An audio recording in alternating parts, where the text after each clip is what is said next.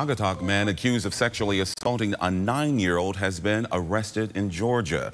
53-year-old Jamil Young is facing several charges, including first-degree sexual assault and risk of injury to a minor. His bond is set at $750,000.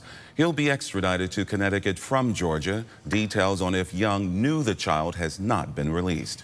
Glastonbury